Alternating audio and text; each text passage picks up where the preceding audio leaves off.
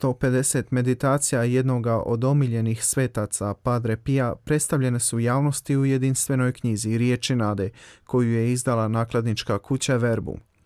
Riječ je o meditacijama utjehe i ohrabrenja namjenjenih svima koji se po primjeru i poticaju ovoga sveca žele približiti Bogu. Ti tekstovi su izabrani iz njegovih pisama i to pisama koje je slao ljudima u svijetu, bilo redovnicama, redovnicima ili posebice lajcima i koje je onda ohrabrirao i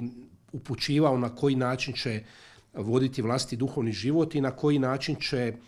nadići kućnje, poteškoće, nedaće i sve ono što čovjeku može predstavljati problem u svijetu. Iako je knjiga predstavljena prvoga dana devetnice Padre Piju, izašla je ljetos te ubrzo dospjela u ruke brojnih čitatelja. Očekivano je jako dobro primljena kod publike, pa je onda mm, ta prva naklada od 3,5 tisuće primjeraka nije, nije bila dovoljna, već u ovako kratkom vremenu je na izmaku, odnosno e, bliži se e, rasprodaj te prve naklade, pa smo evo već e, dali u tisak novu nakladu. To se ne događa često s knjigama u Hrvatskoj,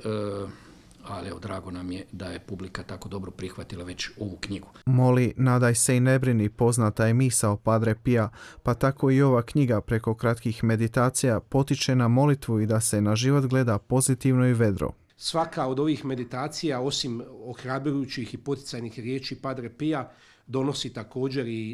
e, citat iz Svetog pisma koji je povezan uvijek sa temom meditacije,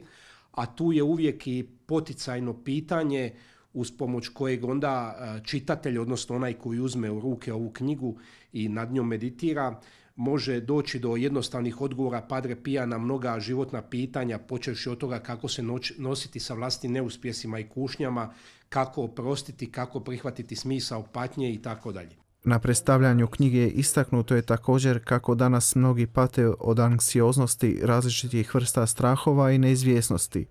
Kao odgovor na te probleme upravo je ova knjiga. I upravo ove riječi Padre Pija utemeljene na Svetom pismu, utemeljene na njegovom e, dubokom poznavanju ljudskih srdaca i dubokom poznavanju e, temelja kršćanske duhovnosti, mogu pomoći svima onima koji traže utjehu, koji traže ohrabrenje na svom i duhovnom i životnom putu. E, također,